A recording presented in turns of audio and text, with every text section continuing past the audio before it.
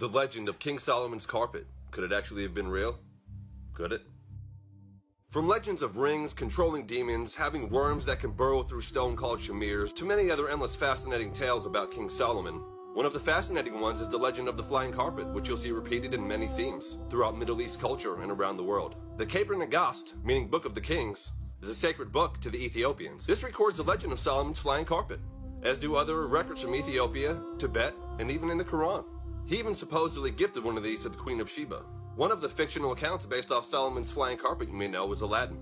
The idea was that Solomon was flying around like Aladdin on his flying carpet, and it was said that he subdued and controlled the winds, which is called aerokinesis. I'd like for you to focus on this picture behind me of the flying carpet, and I noticed two very interesting things. You see the harp right here with the flying carpet?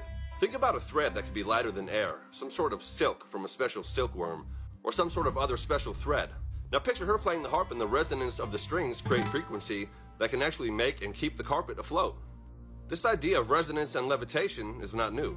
And the idea of the term skilled musician when you read it in the Bible doesn't mean somebody that just sounds good. It means somebody with the knowledge to do something like this. Or like how David was said to heal King Saul when he played the harp. That's a skilled musician. There's a knowledge behind all this.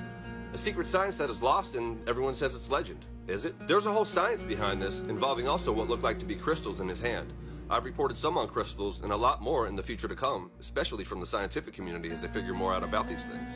Also, what if some of the science behind the flying carpet included ultramagnetic clay, super refined into wool fibers, by the hottest fires you can imagine. Now take this whole principle of magnetism with the knowledge of the wind that Solomon had.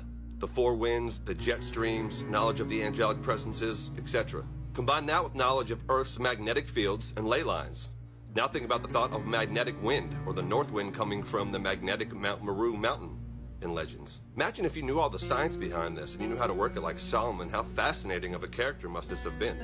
Speaking of magnetic wind, this may be why there are some compass anomalies around pockets of large magnetic presences, and the compass spins around in circles, moves back and forth, just like the wind does.